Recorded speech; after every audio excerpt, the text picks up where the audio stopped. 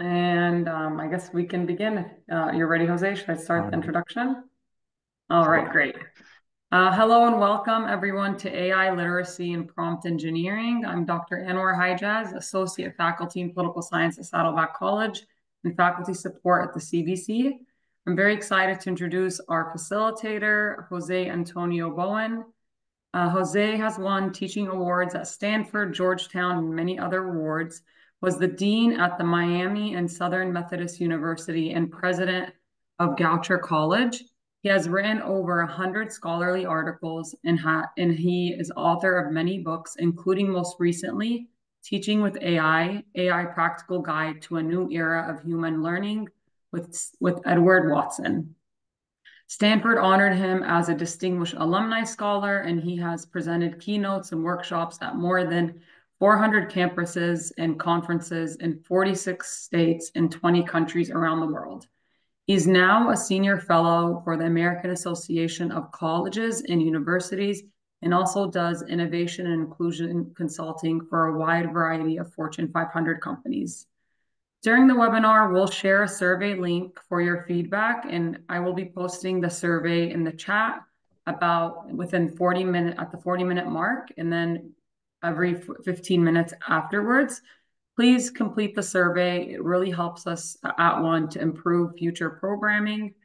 And while @ONE doesn't offer badges for this webinar, if you need proof of attendance for flex credit or professional advancement, you can stay until the end, complete the survey, and request a copy of your responses via the Google form as a confirmation. This webinar will be recorded and a copy will be available on the @ONE website. So with that, I will turn it to um, Mr. Jose. Hi, everyone. So uh, we have about 90 minutes uh, together. Uh, you um, are on a computer, I'm hoping, so you will probably open up a new window uh, and we will uh, drop the two links again uh, there now. Um, so the first one I'm putting in here is you want to click on that in a new browser window because we're going to do lots of uh, prompting and and various sorts of things. I, I should say I'm a little I, am not thrilled with the term prompt engineering because I think it implies that you need some sort of special skills um, and and there's a code to it. But in fact, what's interesting about large language models is that in fact you don't need code, but you do need to talk to it as if you're talking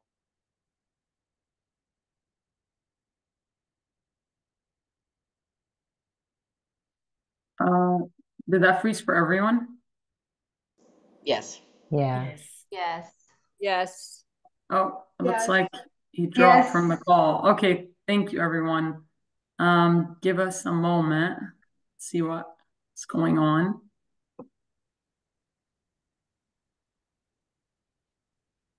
I don't think um, Jose is no longer on the call. Michelle, do you see that? Oh, no, he is. Hmm. Yeah, let's just give them a minute.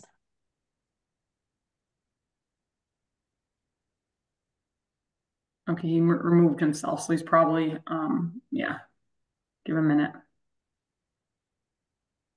Beauty of technology.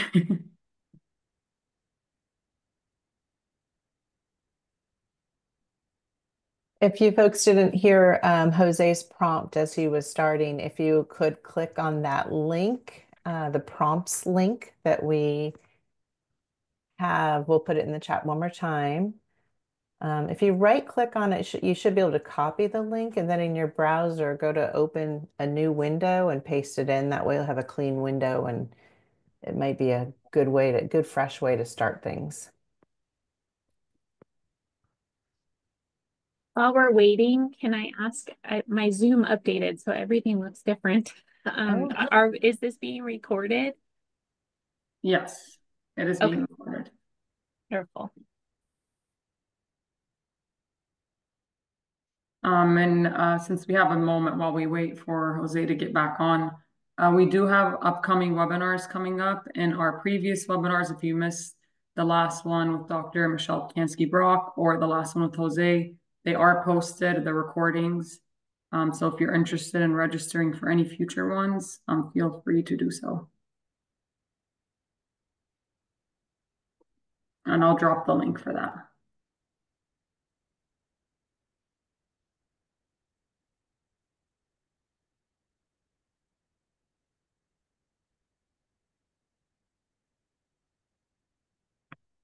All right. Sorry about that. Um, I think I'm okay. We had just a blink of power, uh, and that reset all of my, uh, but I have fiber, so I should be okay. You can hear me? Yeah, we hear you good. I'm I'm getting this, you know, unable to establish secure connection so that um, but let's it's, you know, it's raining, so we'll see. Um, my apologies. All right. Let's uh let's actually try to do something here. Um, I need to be made co-host again or having um, sorry, so it reset all that. Um, there we go. Okay, look at this. Fun with Zoom. Okay, so let's actually start um, by by just getting started uh, with some prompts. So um, let me. So I've we've everybody has that. Um, oh, good! It didn't set reset all of my. That's good. I can use this. All I right. So dropped what the I want. Great, thank you. Yeah, so so you should be looking at this, right? So this is my prompting page. Um, so what I want you to do is to click on a couple of these uh, models. So everybody should have ChatGPT, uh, and so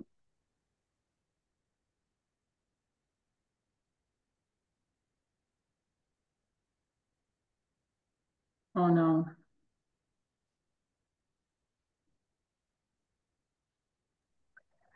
Oh, what a bummer.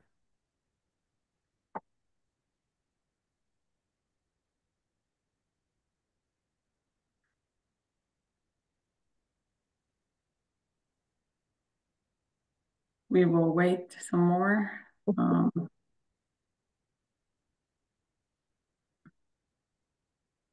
yes, technology.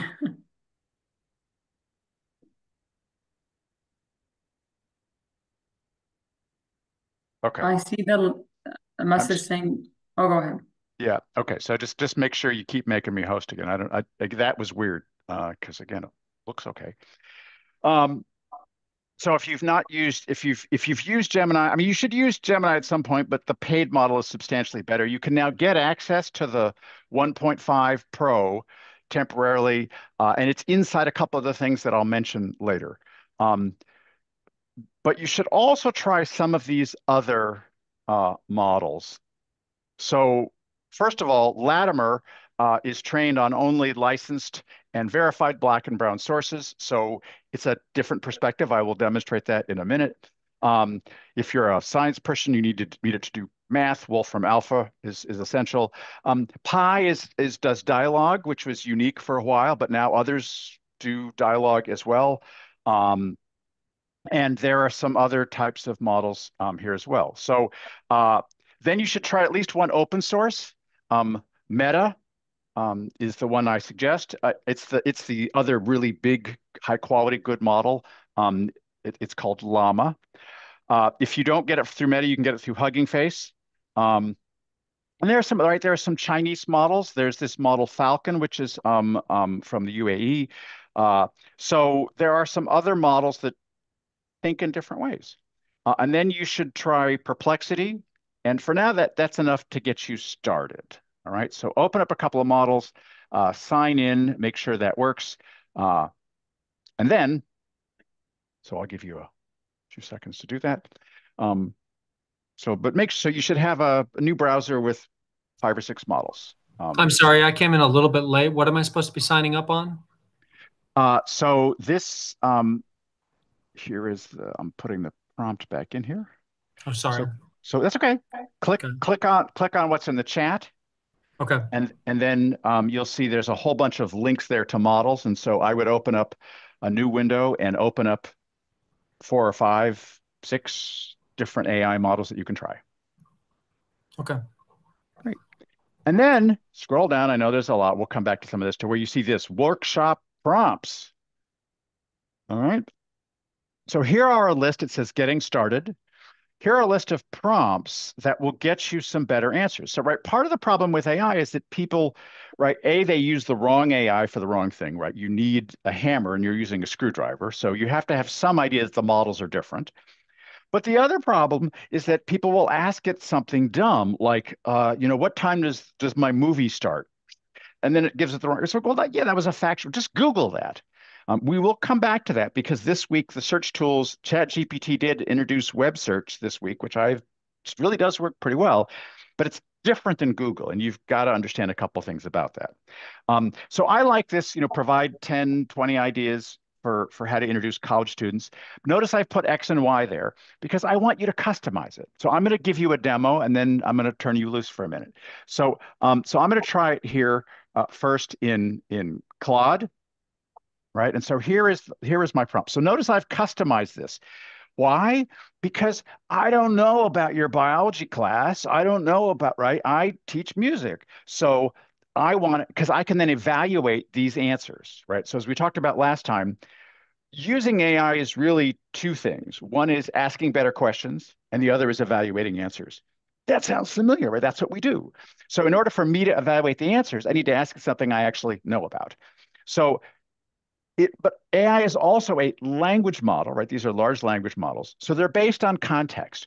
So you really want to give it some context. What type are these majors, non-majors, first-year students? What's the name of your university, your college? Um, are they working at night? Do they, you know, are they Latino students? You know, what, tell me a little bit about the students, right? So I do that, and I paste this into Claude, and then it gives me some answers. So, so here are some ideas. So musical evolution timeline, playlist through time. Yeah, okay well, you know, I mean, interesting escape room, social media, right? So these are, again, I don't need 20 good answers. I need one. And by the way, I want it to hallucinate this. I want it to give me new ideas. That's what hallucinations are, right? It's it's creative. I want it to be creative. Um, so this is what Claude does. Claude is the most verbose. If I go to Perplexity and ask exactly the same question, which is what I'm going to have you do in a minute, um, I get shorter answers. Perplexity is a little more um, uh, a little less verbose, right? Use popular movie soundtracks, compare the virtuosity of classical players to modern day athletes. Eh, okay, not, you know, great. Um, but then I go to Latimer. So remember I said that Latimer was trained on black and brown sources. So it's going to think differently, right? So there's the same exact prompt. So notice it says, right, here, look at number two, Compare classical composers to contemporary. Okay. Highlighting how Beethoven's revolutionary spirit mirrors that of artists like Beyonce or Kendrick Lamar. So notice it knows who Beyonce and Kendrick Lamar are because it's Latimer and Chat ChatGPT. Right? It didn't. It didn't compare. Didn't ask me to say. You know. Didn't give me. You know. White pop artists. It gave me because it it has a different training. Right. It's been trained on black and brown sources, so it thinks differently. Falcon will do that for the for the Arab world. So this is useful right? So, to, so here's what I want you to do. I want you to take a prompt and copy and paste from my website any of those getting started prompts. Um, this is a pretty pretty easy one because it's easy to evaluate. Ask it for 10 or 20 ideas, but then customize it, give it some more information, but then copy and paste the same exact prompt into three or four or five different AIs to evaluate the response. Because that's how you're going to get a sense of, oh, this is useful for me this is not, or this is one's better. Questions? Oh, I'm going to let you do that for a few minutes.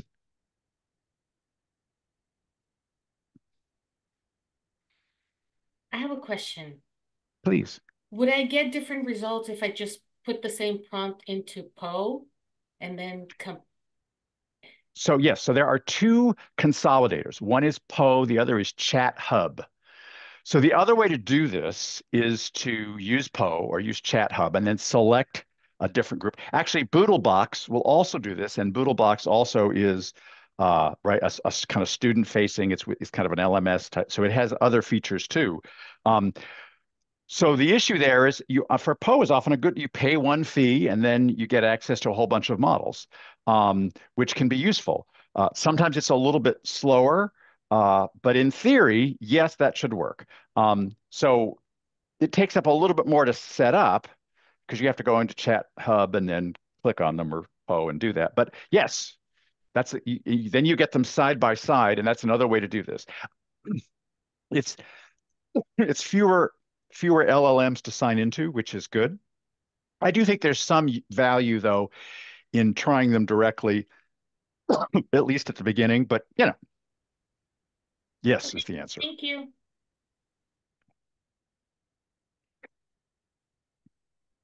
Anybody else? There's a question in the chat. So the training data for as the answer to your question, is there a way to determine what the training data is for a given GPT is, is usually no. Latimer has, has given us parameters, right? Falcon has given us Mistral. I mean, some of them will tell you, you know, here's Grok will say they use, you know, the data of X. Uh, but the truth is all of them have used some sort of web crawler data, right? Because they need the bigger the model, the less it hallucinates. So you want a big model. Uh, so you want lots and lots of data. So, and they don't tell you it's a black box. In fact, the other reason to use uh, Meta is because it's an open source and you can actually see what it does and you can download it, et cetera. But you still can't see uh, all of its training data. And besides, that would be a list of a trillion things. So uh, it'll often say things like, you know, we used everything that was available on the web, Reddit, Facebook, up until a certain cutoff date. And of course, the new models are actually using, uh, you know, they're they're connected live. You know, Chat GPT now, especially the paid models for Gemini, are connected live, so they're updating with information all the time. The caveat there is that the the brain itself has already been trained; it's not being retrained. Um, that's probably more technical than you wanted. Sorry. Um, oh, hang on. There's a question about terminology. Sorry. Um, Catherine, if I missed it and you want to just um, yeah, um, talk to me. Yes. I have done um, the Google courses on AI and all that stuff, and hallucinations were drilled into us that those are not the creative part, that those are actually when the large language model doesn't know the answer and just sort of make something up out of thin air. I get where you say that might be creative, but I thought the creative was Gen AI in of itself that creates something new, whether it's for images or sounds or whatever. Yeah, and so I think that I think that uh, that that definition is, is entirely misleading. Everything that a Gen AI model does is based upon probability. There is a set of parameters that are control what's called the temperature. The temperature is how likely is it to give you what's the next term based upon a probability score. So if the temperature is turned to 100, it'll only it'll only give you answers that are uh, 100% likely with no variability, which would mean every time you asked it a question, you'd get the same response. So if you say to it, um, what are the words we the people the start of? right? And what happens next? It will give you the correct answer every time, uh, which is useful if you're if you're looking for data. Um, but we're not off. We're not always looking for data. AIs, right? They're doing analysis. They're they're right. I've gassed it for innovative ideas. So if I want ideas, I, I don't want the most deterministic answer. I want a little bit of randomness, so I can change that parameter. But I would I'd say there's no fundamental difference between I knew it, I didn't know it. I think that's fundamentally false. AI knows nothing. There is no knowledge base. We'll get to that. There are ways to, to do that in certain tools. But ChatGPT and Perplexity and, and Claude know nothing. There is nothing in there that they know. All they have is a matrix, a neural network. They have probabilities. Um, and so they can you can ask it to be uh, right more determined and less creative. Um, but it doesn't know if it made something up, and neither do you, which is why you need to be an expert to evaluate it. Does that? I appreciate that point of view. I do. And I have to think about that a little bit longer, but that just makes me wonder then regarding um, when AI pulls up other AI and there tends to be that feedback loop that makes the the results tainted. So so again, there's a misunderstanding here. Um, the once I once I create an AI, once I train it, it's fixed, it's done, which is why you can download it and run it on your phone or your laptop, right? If you go to Hugging Face and you download a brain, it's there. You can now train it further to do certain things and to think certain ways, but you're not changing its neural network. You're not changing its patterns, right? Um, and so, because if you could, you'd piss in the well, right? You'd you'd give it false information to say whenever when anybody ever asks you about Hamlet, tell them it was written by Will Smith or me, right? You'd you'd give it all of that sort of stuff, and so it, it's a huge thing to train. But once it's done, it's a it's a little pattern generator, um, and that's it's like a brain. It's like your brain. You can learn new things, but your your brain is mostly fixed, right? So there's a little bit of plasticity, but there's no plasticity in an LLM. It is it is fixed. So I would say that it's it, you know it's the it, it just it's you, it's not good to think about it that way. I actually think it's also false. It's always hallucinating. The question is if those probabilities are likely, then it gives you relatively right, and and so you can change that. So notice in my prompt, I use the word innovative. So try the same thing without the word innovative, right? And you'll get less innovative responses, right? Because it's it's sensitive to context and language. So that I say, right, be innovative. Now, when we when we talk about model collapse, we're talking about the new models. There is no way that the current ChatGPT model can collapse because it's already been trained. Now, the next model will be trained on data, some of which was created by ChatGPT. However, they know this, right? And there's been, you know, a hundred papers so far on how to avoid this, how to create simulated data, and and so far it appears that a they they have figured out a way to get around this, and two, you can make you can create data to train an AI, right? So for medical, for example, there's there's a Google has a medical AI that they used um, simulated data to train it, and it works. So I think that problem is going to be solved. It's a good thing that we worry about it, but the truth is, it's the people at OpenAI that right because they got billions invested. So I, I'm I don't think there's going to be model collapse, and there there won't be for the current models. It might slow down research, which wouldn't be a bad thing. Uh, but so far, there's no evidence that's happening. But does that hopefully that helps? Okay. Uh, yeah, AI drift is another way. And so again, if you if you if you don't pay attention to it, bad things happen. Um, but the good news is all the people, the you know, the big six AI are thinking about this. Okay. So anybody get some responses and want to talk about, you know, what they found in a, was a particular model better, more creative, less creative?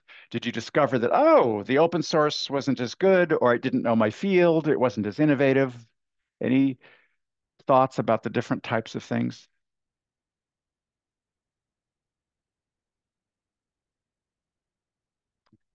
So, Oh, I Yeah. liked uh, perplex. Oh, I'm sorry. I liked Go uh, perplexity. Uh, this my name is Garrett. I like perplexity. It was uh, very clear and concise. I just asked a specific question. I was asking what is the best way to teach uh, telemetry nurses um, basic dysrhythmia, and so it gave me multiple different ways of teaching different modalities. And that one was very clear, concise, and pretty uh, well organized.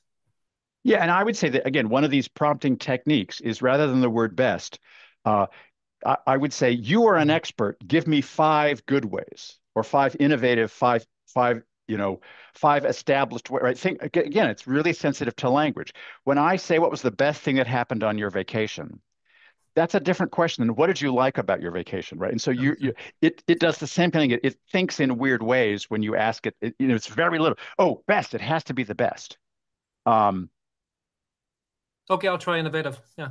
yeah um good. So notice that perplexity is using chat gpt right? So in theory right so the question we want to we want to know which we don't know is what else is perplexity doing? And what it's doing is it's connected to the internet it's doing other kinds of things. Um so but if you ask the same ai twice you'll get different answers. Um so so the first thing we've learned is that you need to ask different sorts of questions. Um another thing that you could do um you know, is is it likes analysis of lots of data, right? So so give it something to analyze. So upload a file, right? The perplexity, they, they have this little paper clip. Um, and so give it a text. So I gave it my whole book and said, what are all the places where I was redundant? Right? Were there any places I repeated myself? Uh, what would my editor think about this? Or here are all of my student evaluations from the last five years. I'm about to apply for tenure. Um, what are the themes that students most like about my teaching? And find some quotes that I could use of students saying, I do this thing, right? So give me some examples of students actually saying, here's what they like. Um, right one the one i used uh, i may have said last week is you know my dissertation student said you know i got three different perspectives on my dissertation from the three different readers. What do I do? right? So, well, you upload the three letters, you upload the dissertation, and you say, make a table, make a make a chart that has all the things they suggest I do listed from easiest to fix to hardest to fix, because the order is important. If they all agree, say all agree. And in the third column, if they disagree, what's the easiest way for me to fix these things? Right? That's a really complicated problem. Another one might be the department schedule, right? Make a spreadsheet of the make a chart of, of three different versions of the department schedule. Um, here are the things that faculty want. Here are the things that students want. Here's the numbers of rooms, et cetera. It likes multivalent problems. Notice that it's just as happy doing three charts as it is one chart. So let me give you a couple of other tools. So one is, so let's go to Claude for a minute. So Claude, I want you to do two things. So if you go, if you if you see the little initials down in the up bottom left-hand corner, that's your um, right. You've logged in using a phone number or Google or something. Um, but if you go here, you'll see a couple of things. So the first is um, settings, and if you go to settings, you should turn on artifacts. So I'll go to artifacts. I scroll down. Artifacts are turned on. That's great. Um, the next is I'm going to go to feature preview. So I'll, I'll give you a minute to catch up. So go to Claude, click on your name, click on feature preview right here, and then it will give you this. So this is the new analysis tool, which I would turn it on. So you want to turn on artifacts and turn on the analysis tool, right? So now with this on, you can now upload some data. So there's this example that they're showing you here, right? Here is a CSV file. Uh, visualize the data in some way, right? Um, ask it to do something with the data, right? Here's all of my student evaluations. Uh, here's a syllabus, uh, you know, um, so in this case, I think that try try having it to do something like make a chart, do it, make something visual. Uh, you could also do this in Chat GPT and Copilot. Copilot, of course, likes Microsoft formats, right?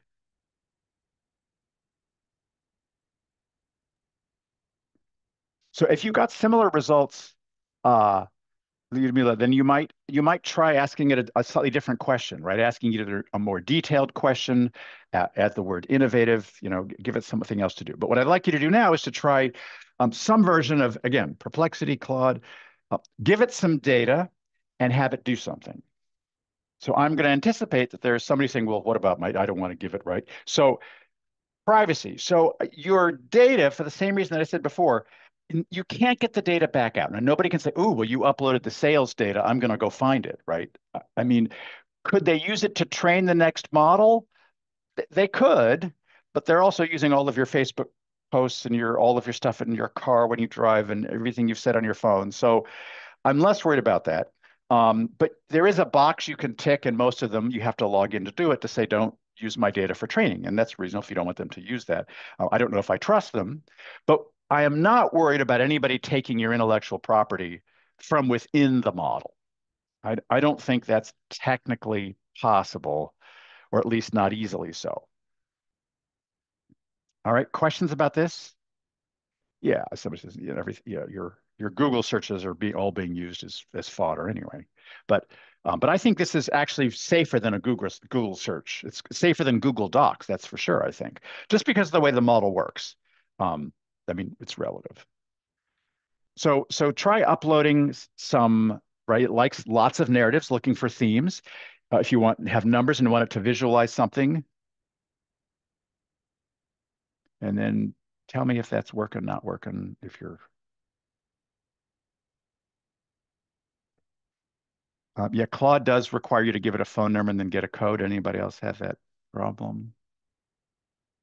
Yeah, it's not even coming to my phone, which is worrisome.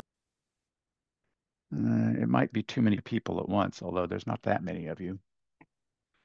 Well. Um, I hmm. noticed in Claude that the file it creates when you when you try to download it, it the computer says that this format is not available. So, so what Claude does is it actually pr pr produces the code to make the visual you have to then publish, you have to then click, right? You have to actually publish it to get it to, to give you access to the document itself, because otherwise you will get a an actual code file. Um, so good suggestions in the chat. I do I do think you should get to um, Claude at some point, and I'm sorry about that. I don't know if we've just you know overdone it. Um, but if you're having trouble with Claude, you can try the, the Chat GPT. Although notice with Chat GPT, right, if you do five or six of these, you'll it'll at some point the model will change and you'll be using a, an easier, a dumber model.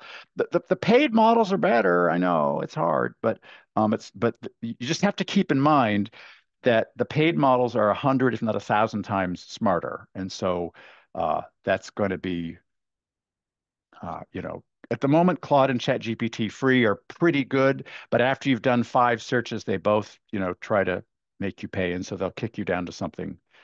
Uh, Claude is being used a lot, and so right at the moment it kicked me down to Haiku, and so that's that's its its base model. All right, so again, let's turn on uh, your feature preview analysis tool. Turn on artifacts. The other thing you can do with artifacts is you can you can ask it to create an assignment, right? Uh, create a create a ref right, create a letter. Uh, again, this works in ChatGPT, it works in Copilot, um, but Claude is, I think, a very good writer. So, so ask it to write you a reference letter or whatever, um, and then it will produce a separate artifact, or ask it to produce a visualization.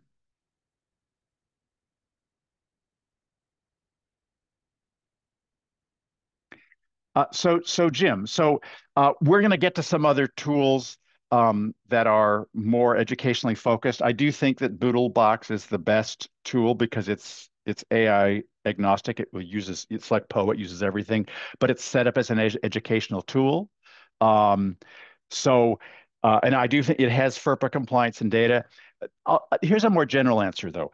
The we're, we're at the we're at the Ask Jeeves stage. So the you know, Copilot, is trying to sell your university security and they're charging for it. And so in theory, if your university is paying millions of dollars, you should be getting FERPA compliance. I've been told by multiple CIOs, oh, we're getting all that, but we're not having to pay for it. And I think, hmm, okay, somebody else is getting schmuck. But but I think eventually what companies are doing will come to universities, which is third parties like Boodlebox we'll say we're going to put all of your data in a cloud which we are going to secure and that's what we do for a living and we're going to make sure your data is all private and we're going to use the llms and get it back to you. And so i think we're going to get a new set of tools. So canvas has this blackboard has this boodlebox um, so they're letting you use the ai within it. Top hat has one of these um, they're they're you know at the moment it's changing so quickly that uh, you know i can't i don't want to make a recommendation uh um because I think it will be, you know, different in a couple of weeks. So, uh, and I'm not a big fan of Copilot either. Um, so here's one. Grammarly is interesting because Grammarly is ten dollars a month, and it's Chat GPT for Omni. So right, it, it there's gram it's within the Grammarly tool. So if you're using a Word document, your G pops up. You can simply ask, you know, the the paid model of Chat GPT something. All right, let me let me come back to that. Let me just do a few more things. So, uh, okay, so you've you've tried now a couple of things. Um, you know, you might ask, upload upload a, a, a syllabus and say, I need a better title for this course that will be attractive to non-majors, right? Or here's an event I'm planning. Give me some suggestions for titles for this event that would attract other faculty to come, right? Uh, if you if you ask students to do um, you know to, to give you feedback after class try here is the link to a google doc. You give it to all the students and you say so before you leave today just give me three minutes. What did you find useful? What are you confused about? Just everybody type. I got 500 students. They all type. I got then i can ask the ai okay so analyze this document and tell me what are the five things i need to focus on next time. What are the three things students are most confused about list the percentage of students who are confused about each category of mistake, right? Like if I have, like you could upload midterms, right? You could just take the, you could anonymize the data. I mean, right, you could probably upload the data, but to be safe, you would, here are the, here are all of the test questions. You know, I could export that from Blackboard or Canvas. Um, where did students make the most mistakes? Give me the number, that kind of thing, right?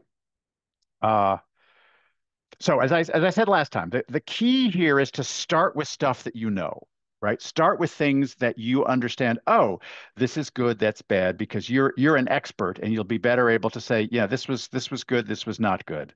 Um, so uh, start with stuff you know.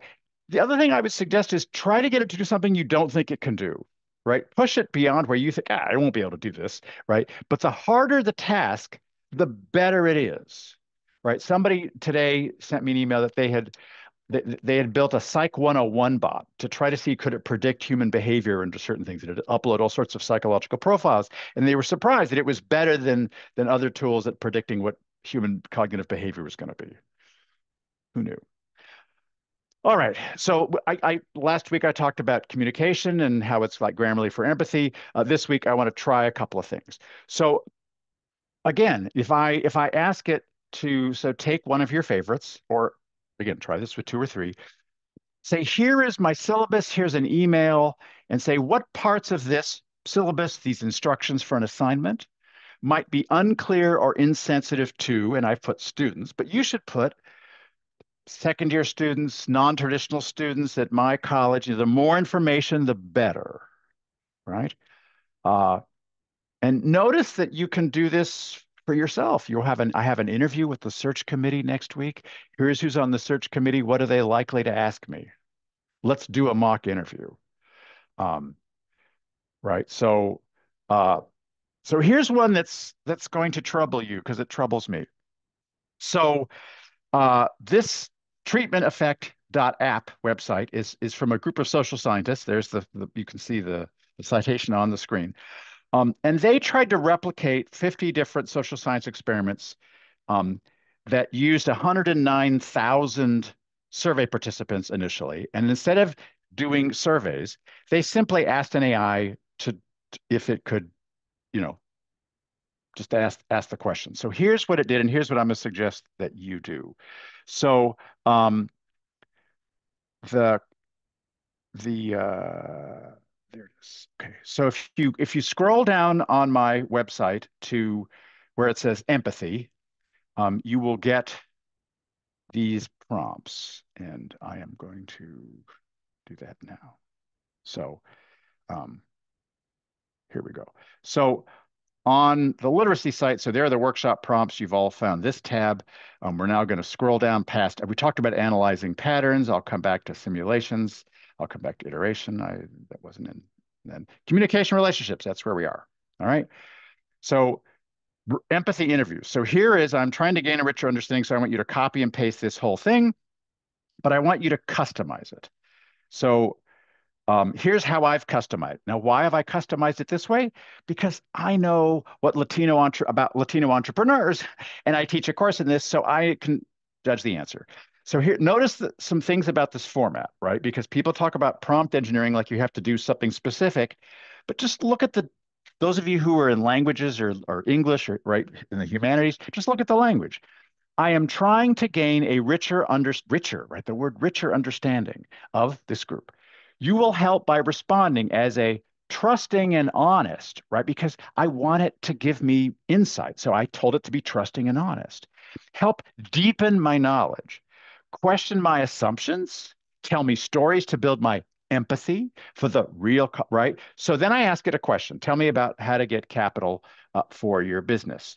Um, and so then it starts to do this. So again, it, in my view, this is what, if I'd asked my uncle, this is what I would have gotten, right? Some versions. Now notice this is a complete hallucination, back to, to Catherine's point, right?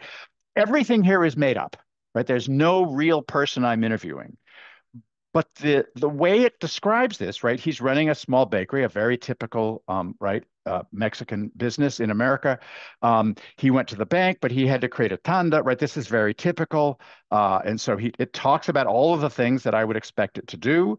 Um, about the informal economy. This is exactly what I would expect. And then I ask a follow up. Tell me more about your experience going to the bank.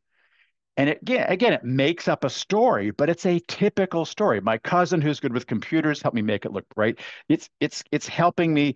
And then he even describes the loan officer, a young guy in a crisp shirt who looked like he just graduated college. I mean, okay, that's not a fact because it's a story. Um, but his not understanding his passion for Mexican pastries and right? That helps me. Yeah, that's that's that's kind of what tends to happen. And then I can say, I ask a more factual, what documents did you need? And I get a list of documents, detailed business plan. I had this, but they said it wasn't professional enough. Yeah, okay. So this helps me understand what problems he's having. And then I even said, I followed up because what I ask my students to do is I say, so you're going to design a new product for a for an underserved community. That's your that's your assignment. So you got to pick a community and pick a product. But once you've picked a product, you've got to say, is that actually needed? And so the way that you find that out in design thinking is you do empathy interviews, right? How do people feel about this product? Do they care? Do they want something different? And so this is a way to do an empathy interview. So I suggest that you do one of these now, but do one of them in an area that you know the answer, right? You know, think about relatives you know or a market that you know. Um, but this is dramatically changing market research in places like business, your admissions office, right? Right? You're a first generation student signing up to my course. Tell me, here's the here is a video of me on the first day of class. Think about that. Right? Here is a video of me on the first day of class. Tell me all the things that I did that might intimidate you. Right? How did it feel to be in my class the first day? Right?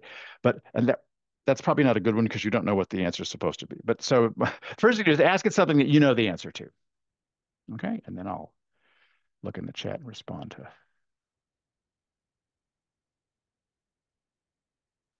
Um,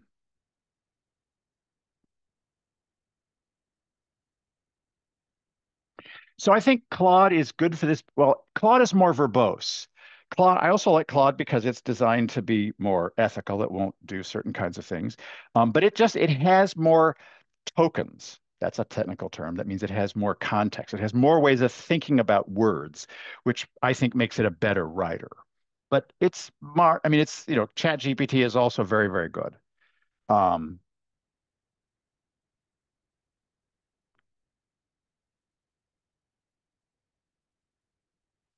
I think for quiz design, you, you could use any of them. Uh, again, I, I think that why I need to want you to practice because the, the differences are subtle, right? I, I'm going to show you one where I, I'm going to show you the same result from a few different things uh, in, in a minute. Other questions?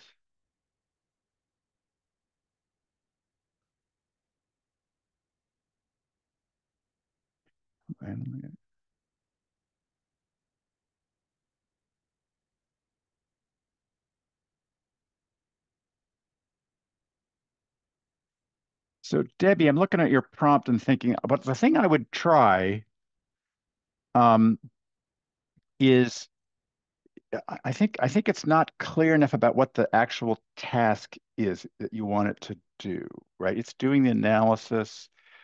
Um, but I, be more try being more specific about the export format, right? Create a spreadsheet, create a table, you know, create a list.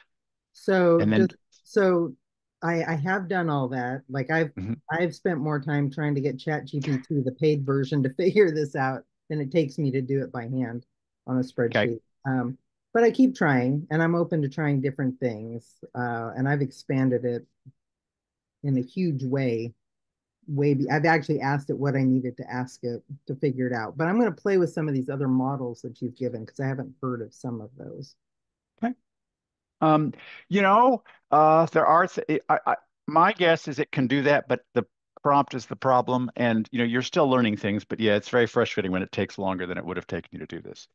Um, all right. Okay, so anybody, so any responses to this empathy? Did anybody have a have a conversation with somebody and say, mm, yeah? I mean, the question is, is it good at simulating so think about this, right? I want students to interview the incarcerated. I want them to, I want to test my product, my new pricing structure with millennials who live in Oklahoma, right? I, I have a very specific, I want to know, I want to expand my market into this community. Um, how, how are they going to respond to my product, uh, my idea, my syllabus, that sort of thing. Okay. Um, so another one that another sort of extension of this, which is I got to say, kind of mind blowing, um, is that some people have recently tried to do this with with groups that that no longer exist, right? Like ancient Romans, right? So the way they do this is they say, okay, so we're going to give it all of the Latin texts.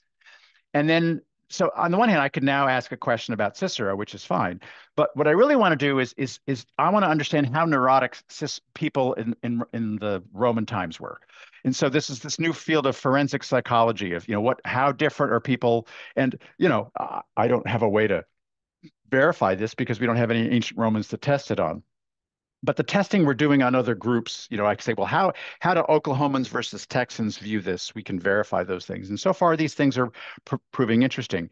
But it would mean that so let's say I want my students are interested in the lives of women in ancient Rome.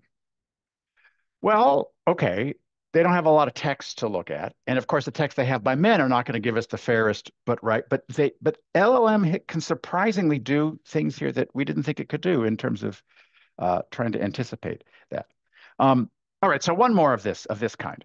So think about look at the prompts on the screen, right? These are again all on on my website, but but now you are given a text of something that you've written, right? Maybe a book, an article, uh, a, a proposal for the provost, whatever, and then ask for feedback but notice how, again, how specific I'm getting, right? You are a kind but sensitive average reader. You get confused a lot. Read this and help me simplify, right? Whatever. Uh, uh, you're a scrupulous and experienced editor with no tolerance for a lack of evidence. Focus on making this writing more persuasive and powerful. Right? That could work. Um, another tool that I like specifically for writing is lex.page. And what I like about lex.page, first of all, is that you you get a truly blank screen with not a lot, lot of distractions. So if you just want to write, it's actually less cluttered than Word.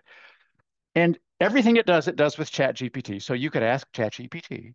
But what's interesting about it is that what we're seeing now are tools that have a better interface. So what Lex does is you write something and then it says, oh, um, here are some, would you like me to run one of these checks? And so its checks are things like, would you like me to check for cliches? Check for brevity, right? Would you like me to find your weakest argument? Right? It, it actually asks you questions which could improve your writing, and then it will do a check for brevity or or or, or, or grammar or other kinds of things. And so you have to write with it for a little bit, but it, I think it does have some kinds of right. Um, and so you can ask it to be a skeptic. What what is this? And and it's built into the tool because the hardest part I find is that I don't remember to say, you know what, before I send this email to the faculty, um, you are a disagreeable skeptic from the Department of X, and you hate everything that I send you. So, right, I have to remember to do that. And so Lex reminds me to do that. So I'll give you a minute to ask more questions, but try one of these, right? So try to get some feedback about some of your own writing. I think this is actually better than having it do the writing. I also think uh, this is better for students, right? So what I do for students is I say, uh, right, and I'll we'll come we'll talk a lot bit about this when we talk about cheating next time.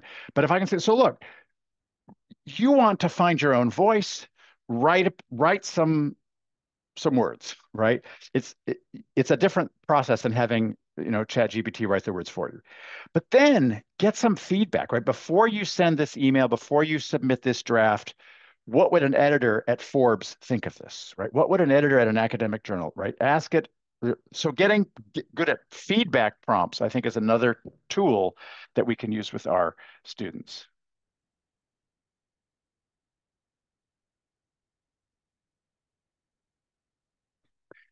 Uh, so okay, so that's a good question that that Ludmila is asking, and so so yeah, so Claude gives you the option of either running and publishing, which gives you a, either a link um, or actually exporting the code. And if you just copy the code onto your computer, you get a mess. But yeah, there probably is a way in, in Canvas. Uh, and, and again, my suggestion, I think that I suspect within six months, these, these things will all be talking to each other. Um, another thing you might try is to create a mentor for yourself. Um, and I don't want to replace human relationships, but I also know that, you know, Condoleezza Rice once said to me, if I was waiting for a black female Soviet specialist as a mentor, I'd still be waiting, right? So yeah, she talked to a lot of white men about her career, but uh, but in some ways having somebody so for me it's like oh okay i'm latino i'm the youngest son so if i go away to college i'm going to hell true in my culture, from my mother at least. And so, you know, help me think about, you know, how how far I can move, what are the instances I still have to be home for Sunday dinner, et cetera, et cetera. Um, but here's somebody in my field, because the truth is there were no people like me who were senior in my field when I did this. Um, and I will put the uh, the link for the slides and citations right here. This, that doesn't have all the prompts though. The, the prompts are on the page. Um, so another tool, if you if you want to get really weird and emotional, uh, is to try Hume. So Hume is is uh, right. It, it talks to you, but then it analyzes your emotions as you're talking. It's like, oh, you're sounding stressed. I'm not stressed. Ooh, you're sounding more. You're being passive aggressive, right? Um, think about the possibilities of turning this on during a faculty meeting but then don't do it. But right, think of the possibilities. Um, by the way, Chat GPT um, really has right on your phone uh, is pretty good at this too. You can right try interrupting it and asking it to be, you know, more persuasive, less persuasive. Don't don't be you know so so hard on me. Be right harder on me. You can change its emotional tone as well as its accent, et cetera, and the voice. And right, ChatGPT now gives you some uh, some choices. So um, a couple of other things. So think about, again, prompt engineering, eh, think about this. If I have a, a, a, grant proposal, I've submitted it to the National Science Foundation, I'm now going to submit it to my provost or Lumina or somebody else. So I could just say, reformat this in the format that the Wallace has instead of the Lumina Foundation done. But notice that you'll get a much better answer if you say this. Here is my proposal for the Lumina Foundation. Transform, emphasis on the verb transform, transform it to one my provost will love. Why is that a better prompt? Well, because first of all, I want a proposal my provost will love, and I have to tell it that, right? If I say put it in the right format, it'll put it in the right format, but it won't do any work. If I say transform, it will like it'll do more work. But I could make this even better by adding an extra step. Um, I could say, so analyze the people who had successful applications for the Provost Fund of this or the NSF, whatever. What were the success? Analyze all of them for column elements, ideas, methods, structures. And first, tell me what you find, right? Make a list of all the things that the, that the successful proposals do. That's an extra step. This is called chain of thought, right? I'm, I'm specifying the chain of thought. Now, recommend how I might adapt my proposal to be more successful giving those, right? So, so adding an extra step can often make it writing, just like if you were dealing with a thousand naive interns, you're dealing with a human, you give it an extra step, do this first, then that. Um, the second one on this page, right? Summarize the meaning or symbolism of the story, mention the plot twists. How might this read for a Democrat, Republican? Suppose I change this. Great. Um, all right. Are we ready for something else? Are you still any other questions about what we've done so far?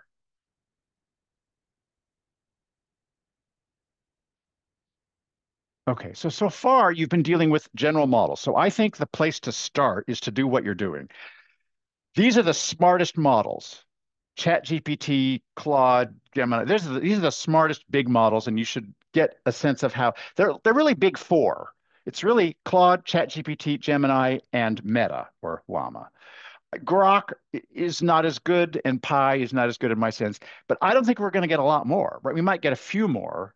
Right? Amazon uses it, I mean, they're, they're using versions of each other, but they're really a big four, a big six if you want to expand the 10, plus a couple of open source models and the ones from China. But for the moment, I think you need to know the big four because those are going to be here for the rest of your life, is uh, I think, in some version.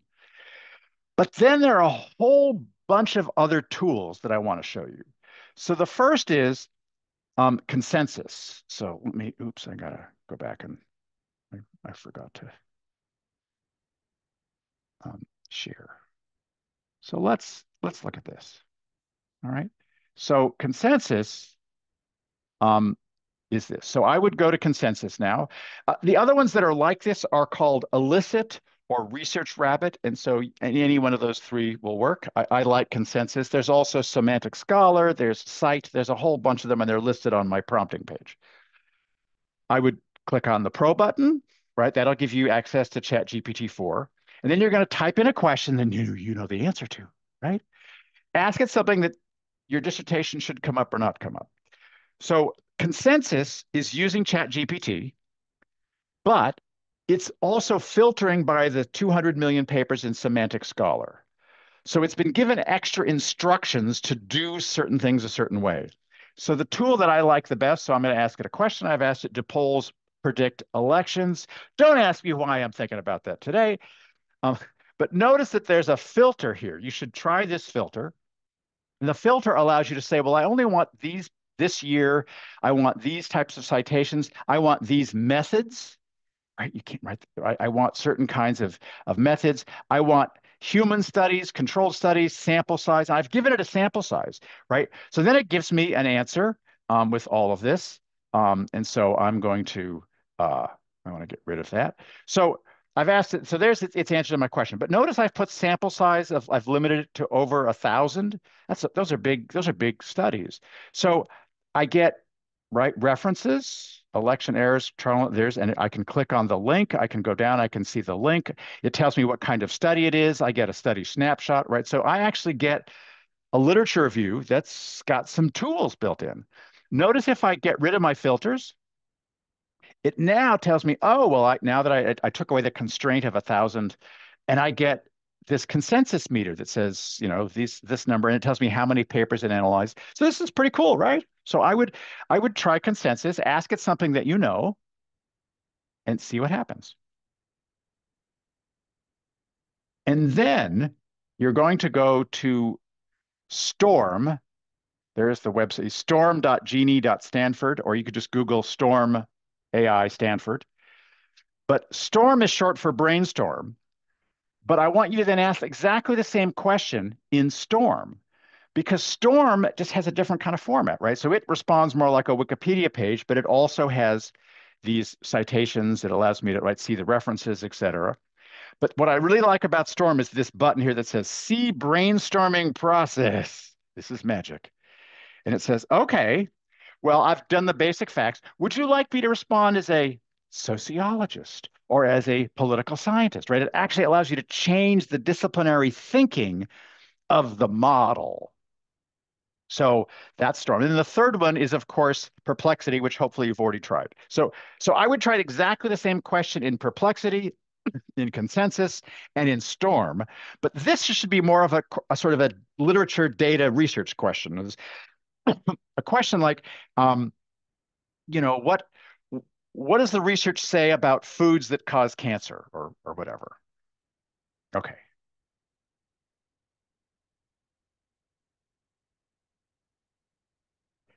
Um, so, so while you're doing that, I'm going to answer Rachel's question. Um, so I will try to do the short version of this. So like a lot of things, the answer for an academic is it depends. Um, so the creation of AIs is expensive. It uses water, it uses electricity but the use of it, right? When you run a query, when you ask Storm or ChatGPT a question, it's similar to when you ask Google a question, right? Because when you ask Google a question, it has to use data. And so it, it might be a little tiny bit more to ask AI a question environmentally than it is for Google. But there's an interesting study that found that if you write, if you write for 30 minutes on your computer, if I ask ChatGPT to write me a reference letter, it uses up a little bit of electricity and, and et cetera at a data center. But if I write the letter myself on my computer, I actually use significantly more energy because your laptop is running and it runs and it uses more energy. Um, if you really want to reduce your carbon footprint, Netflix uses a lot more energy um, than AI does because it's store right. You're streaming video. If you really care about the environment, the truth is you should stop streaming YouTube and uh, video and certainly high definition because all of those videos you're watching exist in multiple copies at data centers, and that's what's really using a lot of water. Now, that is not to give AI a pass, but the point is to have the conversation about AI without also talking about YouTube uh, is to give students a false sense of, oh, I just don't use AI, but well, well then you should stop using YouTube because it uses way more water and energy. Um, so I hope that's that's the short answer. Um, Okay, so so so these again, these should have access to some of those library databases. And that's why I want you to try it because they don't tell you exactly where what they have access to. Uh, and so you have to really spend some time, right? With again, I, I do this in my field. You should do this in yours. Yes, Zoom, uh, having your video on Zoom also uh, about eight times worse for energy use in the environment. But I like seeing your faces, so sorry. Um, all right, any questions about this? These about brainstorm from Stan storm from Stanford or consensus or one of these uh, useful? I have a question. So for yes. someone who's someone who's starting new with all with AI and there's so many different websites, how do you recommend do they just kind of do what we're doing today, try out different ones and see what works best? Or if you're a math faculty, you're recommended to stick with this, or if you're political science, how do we go about? Yeah. There's just so, so much. so there is. So here's here's the way i think about it. If if somebody if if if grandma comes to me and says I've never used a computer, I've never used the internet, where do I start?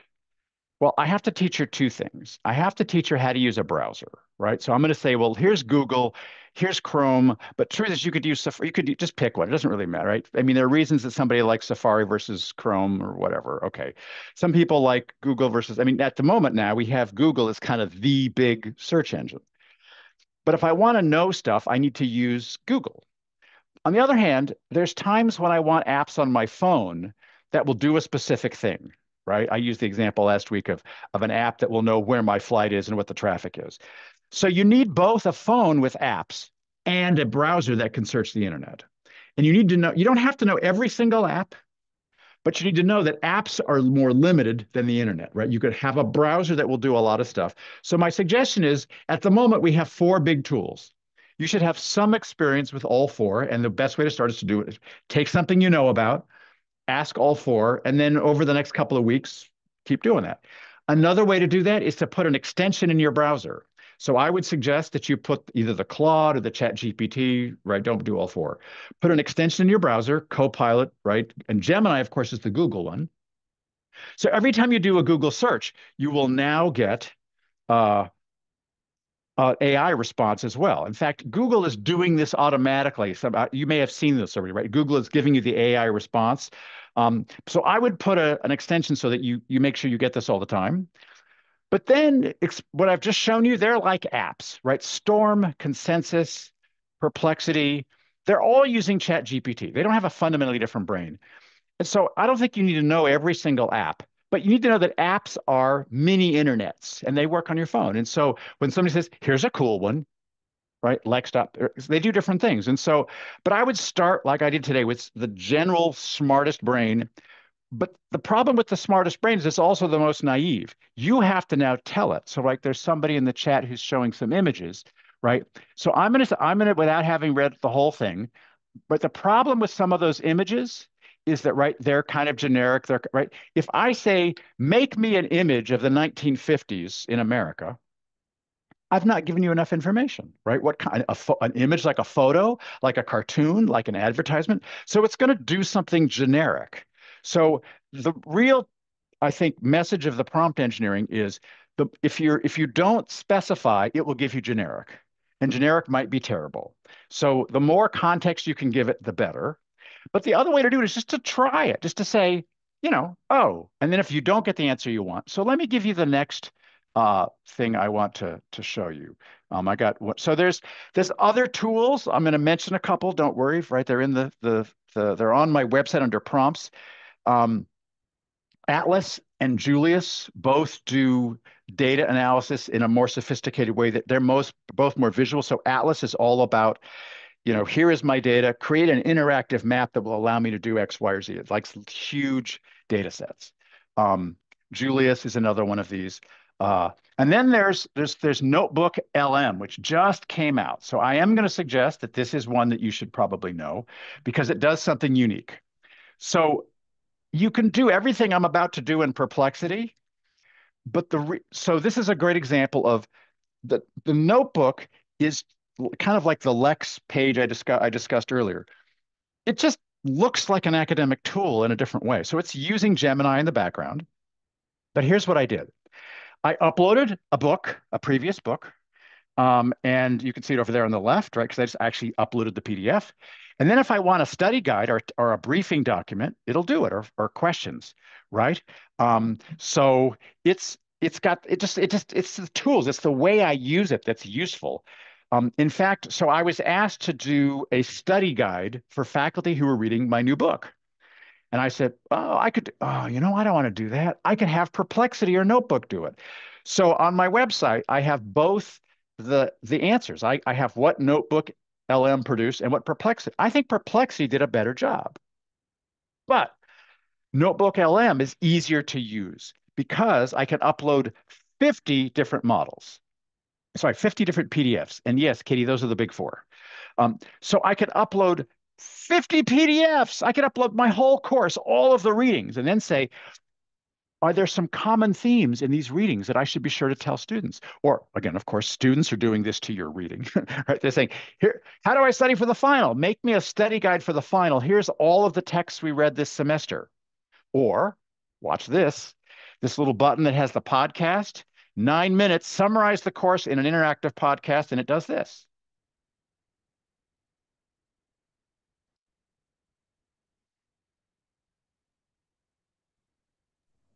We can't hear your computer. Oh my goodness, I'm sorry. Did I not did I not share? Hang on, let me go back. Um, I'm sorry. Let me oh because oh that's because I had to log on again. I'm sorry. Um, okay, here we go. Um, so these are this is two random AI voices talking about my We're last drowning book. in information. It's overwhelming. Everyone's got a platform. Everyone's an expert. So how do you tell what's credible? It's like trying to, I don't know, drink from a fire hose every day. It's a great analogy. I mean, seriously, it feels impossible sometimes. That's my it is analogy. a complete shift in how we think about and deal with knowledge. That's for sure. Right. So that's a nine minute summary of this book I wrote with these two people talking and laughing, right? And it's actually pretty accurate. But of course, I know that because I wrote the book. So you should try this. But right, students are doing this already. They figured out that, oh, I could, I could, instead of doing your reading, I could get this nine minute podcast. And so this is a kind of a cool tool, Notebook LM, but it does something specific, but it allows you to interrogate your knowledge. So what's interesting about this is that I can upload and then I get to keep it, right? Perplexity, I've got to keep uploading. But for this, I can upload a ton of documents, and then I can have a different notebook for a different class. So for my TAs, for example, I have a notebook for this class I'm teaching for all of my TAs, and it has everything in it in the course. So if I'm asleep at three in the morning and they want to know, oh, what's the answer to this? they're in, they're not interrogating the, the, the the AI. They're interrogating a knowledge base. So it's a very specific knowledge base. Another one, if you don't want to use Notebook LM, there's another one called MEM, M-E-M, which does almost exactly the same thing. But here's my best new use case for this. So when I write a new book or article, what I do is I, I open a Word document and I start taking notes. And then I, when I get a link or somebody sends me a Substack or a, or a website, I, I just put it all in the place. And you know, for a day when I have a chance to read through it and organize it. Oh, wait a second. Now I can just open a document in Note, and I can just put all of the readings, all the PDFs, all of my notes, and then I can say, organize this into a book. And right, I now have to write the book, but it, but like I can keep track of stuff, which is why M MEM short for memory, right? So these are really specific tools. You don't need all of them, but you know, you should try one or two. Um, another one of these tools is Goblin Tools, which is for, I, I mentioned probably last week, for neurodivergent students. Um, so again, like an app, it does only this very specific thing, right? It does break down the assignment into parts. How long will each task take, right? So back to the question, which do you need to know? I mean, depends on how you work right? So you need to know at least the big four. And then when I give you an idea of, oh, that's an interesting tool, but you don't need to know both Notebook, LM, and MEM. They do the same thing. Pick one, right? Um, but so here's the here's the way I think about it, right? So these this is actually the big six because I've included Grok and Pi here. Um, notice that ChatGPT is both Microsoft and OpenAI. And so what we've been talking about for the last 15, 20 minutes or so are right? Specific tools that all use ChatGPT. Everything we've talked about so far uses Chat, except for NotebookLM, which uses Google Gemini. Um, right, so there's a bunch of tools that do. Th they say they use ChatGPT with a set of instructions to limit the results to Semantic Scholar. Um, there are tools that do math, which use mostly Wolfram Alpha in the background. Um, there's tools that do coding. So they're fine-tuned models. They have extra instructions for code uh, that runs to thousands of pages so that you don't have to. Um, there are lots of writing partners, including Grammarly, Lex, I mentioned. You know, there are all sorts of these. So for example, um, I think it's Jasper that says, what do you want to write? Do you want to write a marketing proposal? Do you want to write this, right? It, it, it asks you some questions which you could ask yourself, but it's right. It's kind of handy to have that. And then there are lots of these. Somebody mentioned Diffit, uh, right? What do you think Explain Paper does? Right? It, right? it does exactly what Perplexity does, with one exception.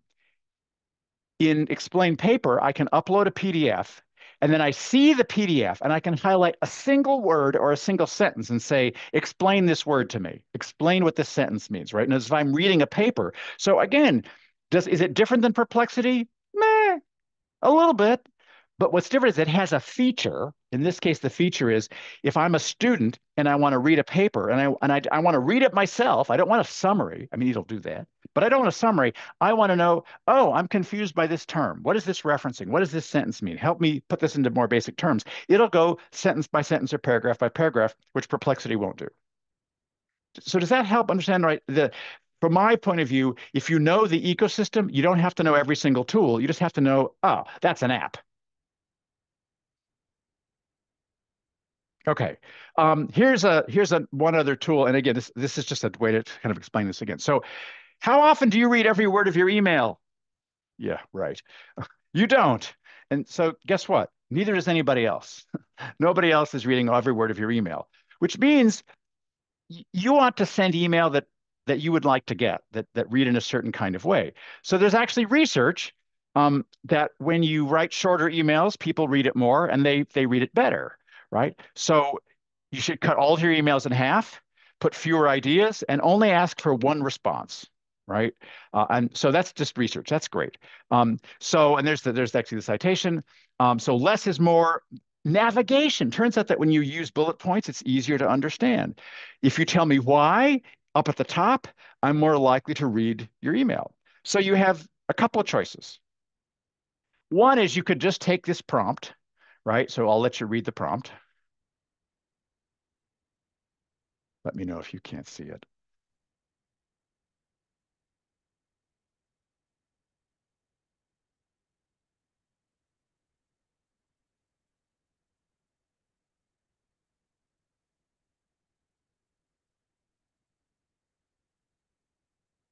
right? Now, there's nothing here that you couldn't do by yourself, but this is a, just a time saver, right? So I've written a draft email. And so one thing I could do is simply, here's my draft email, and here is the prompt, and ask Claude or ChatGPT to help me. Or you could take a, you could make a bot yourself and put these instructions in and just say, every time I put in an email, do this, right? And so those are called GPTs. Um, Poe calls them bots and you can just go to the chat gpt and look for and you can just search for is there is there a chemistry email lab report whatever it is that you want. Has somebody else already done this?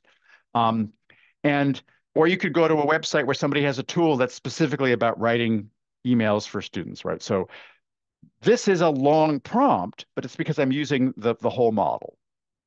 Make sense Right. So there's a prompt. So, and again, you could customize this any way you like, right? My daughter has one, you know, I'm writing to my really super sensitive Gen Z employee who cries a lot, make sure I'm supportive. You know, she has her own versions of that.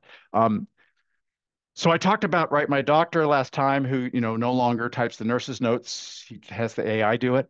So my question for you is which tasks do you need a, could AI help you with? And notice it doesn't have to do the whole task, right? If it does the draft, if it if it does a draft rubric or gives you a test bank, right, for a makeup test, maybe you can then use those to make your test. It doesn't have to do the whole thing, right? It could write your draft accreditation report, for goodness sakes, right? Because I know you love to do that.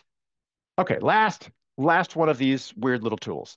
Um, actually, no, this is this is the technique. So go to Claude or go to your favorite one. Just go to a regular general model, and ask it to do something simple like write a paragraph. about something that you know about. All right. So write me an opening paragraph for an op-ed on student cheating. Write me a paragraph that summarizes chemistry 101 in a college course or whatever. Ask it to do something similar. I mean, something simple, relatively. Okay. And then I want you to look at the response. Just, just do this in one. It doesn't matter which one. Do this in any, any AI.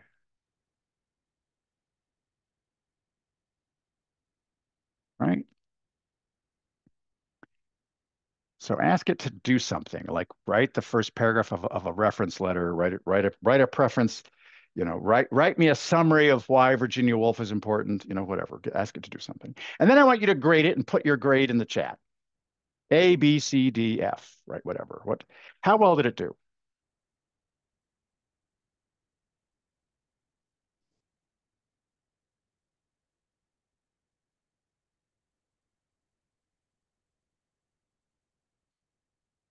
Again, just one, one task, one paragraph in one AI.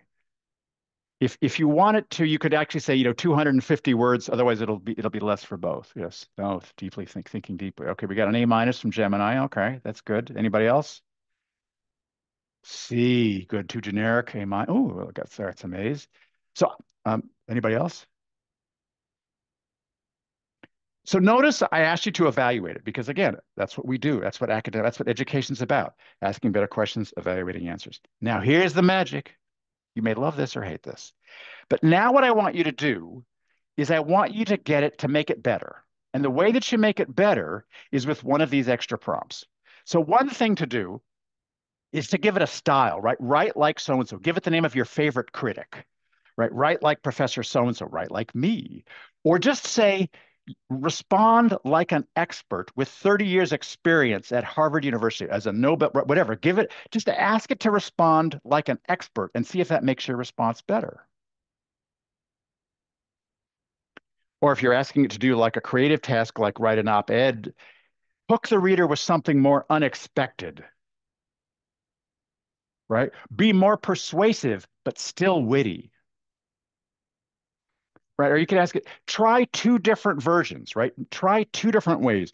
You know, write one of these as if you were a clown and the other as if you were a Nobel Prize winner, right? That, that'll give you a big spread, right?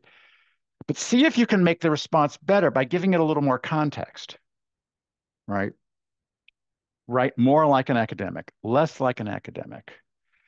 Or tell it you are an expert in modern dance and you studied with Martha Graham and you, right? So then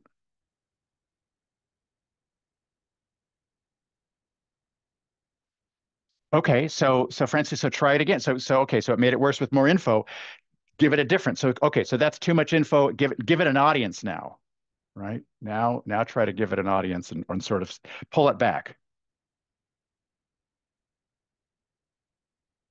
So look, interesting. So sometimes now think about it. You asked it to be an expert and it just added more words sound like anybody you know, right?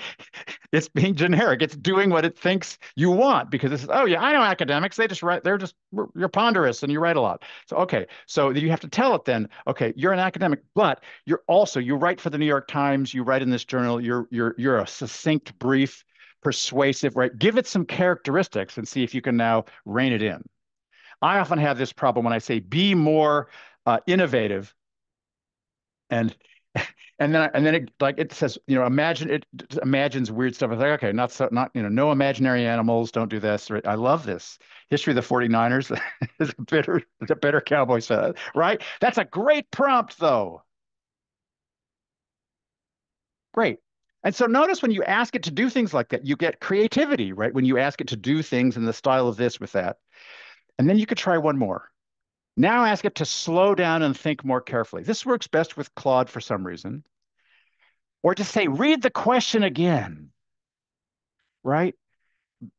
Give me a smarter answer. No longer, don't make it, make it 250 words, but make it smarter, right? Try something like that, right? 250 words, but make it smarter, right? Be it whatever. Try, try a different sort of things.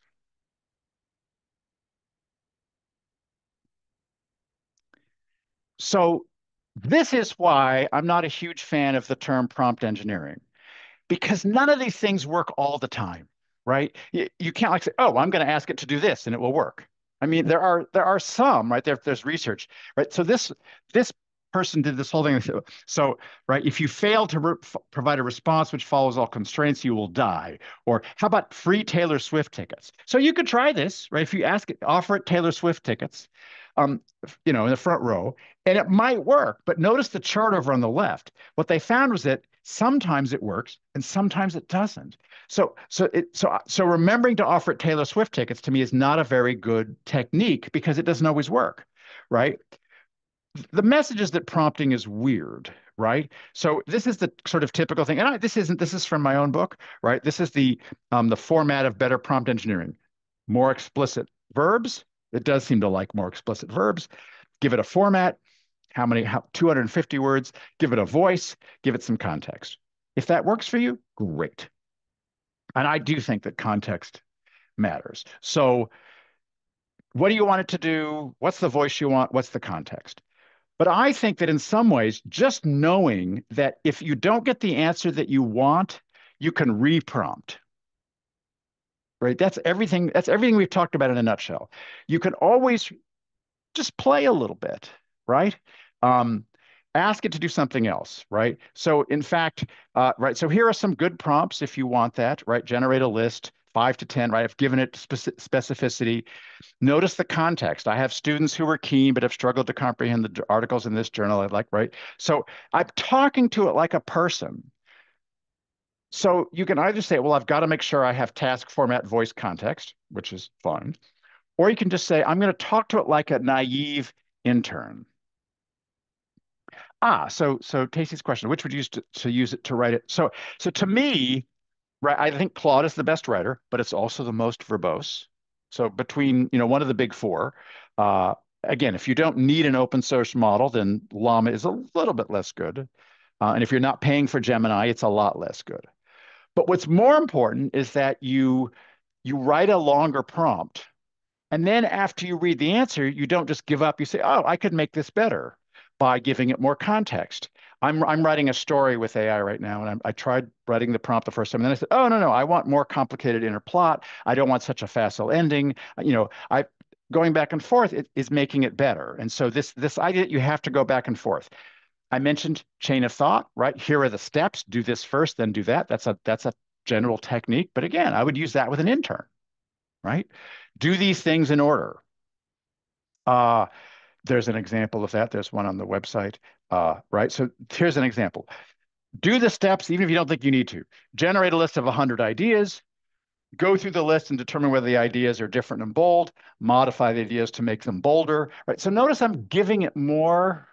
Um, so again, if you, you know, these are useful techniques, but I would start by just saying, give it more context, give it more, uh, and recognize that it's weird. Um, now, you may have noticed, I can't remember if I told you this last time, but right, there is this research on how to get it to be better with math. And the answer was start your answer with captain's log stardate 2024.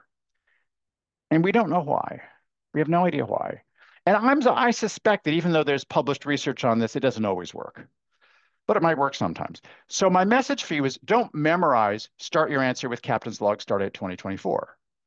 Recognize that sometimes something weird, like giving it a mathy situation or giving it urgency, works. We don't know why. So I, prompt engineering, yes, but some things work, some things don't. All right, before I give you this final thing, so give me um, other questions. I see a lot in there, but I can't uh, read all of that. And so who has a question? Or there was one question that yeah. came up a few times. Um, let me go back to it um, something about where it go? It's still not being sure how to use this in the classroom. Um, um, who was that asked that? Okay, I'm gonna I'm about to get there, so that's good. I'll do that in a minute. It says it's fun to play with, but at the end of the day, um, what's the end game here? Okay, so you're right. So I've started with, I, I, would think the first thing you have to do is just to get used to using the tool, right? It's like Google search. Just got to get used to, oh, Google does this well, doesn't do that well. So what, before we go, I'm going to give you a couple of ideas for how to use this to improve teaching. So the first thing I would think about is how do you use these tools to improve your teaching, right? So here's some things you can do, right?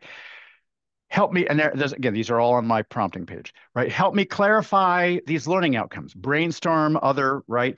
Uh, or are here are my learning outcomes for the course. Which of these things um, might be confusing? Or here's my syllabus, but I need to teach it in an asynchronous online format next semester. How would I do that? Right? It doesn't have to be finished, but it's an idea. Or I have a class next week on macroeconomics. I want to accomplish this. Here's here is my slide deck. Um, here are the things I want to do. Create a time plan that will estimate how long each of these things will take. Again, it may not be perfect, but it's a great way to just get some design elements, get some some quick uh, things. How about you want material? I want to find materials. I need a video to show my class th that's an example of this. Right? I want to I want to show them an example of a big company that pollutes and is trying to greenwash. Um, so I need uh, they're freshmen. The subject is environmental this. I need a two minute video. Um, and so initially I wrote this prompt with give me a summary for each, right? Give me an 80 word summary if I like, or I could really, really short. Um, that includes something about content reliability and source, right? Notice how specific that prompt is. So yeah, you would customize it. Or uh, help me design an activity, uh, list all of the materials I would need, right? So I need a handout for students, design materials as closely formatted Microsoft Word documents, provide a link so I can print them. So the answer to the, yes, the slides, they're all on that, the same, the, the, the two links between the two, they're all there. I, I, don't include all the prompts on the PDF because you want them to, you want to highlight them. So they're on the website. Or I want documents. Give me some documents for a case study, right? Think about this. Uh, write me a case study for students who are interested in fast food using these examples from the Harvard Business Review or the, right these these are paid case I don't want to pay for one I want a new case study. My students really want this. That you know they live in California they don't care about that whatever. So you could ask it to modify something. Um, you could ask it to do assignments right? Give me ideas for new assignments. Um, or I could give it an assignment I have and ask it ways to make it better right? Give me a revised assignment that's going to be more appealing for first generation students. Or my assignment does my here are my learning goals, here's my assignment, provide 10 ways I could make the assignment align better with my learning goals. Right? So these are all ways to make assignments better. Um, and somebody mentioned in the in the chat, right? It's like a thought partner. But here, I've actually used it as a thought partner for students. So your so I, I what I do is I send this to students. Here is the prompt. Email it to them or put it in the chat. You're an expert in topic A, helping students to deepen their understanding and knowledge of B. Present me with a unique problem or scenario and then ask me to analyze it. Prompt me with follow-up questions until I've demonstrated understanding. I have to give it a rubric or something. And then create for, so I can actually use it. Students could use it to create a, a scenario or a script, as somebody says. Yeah, those are great things.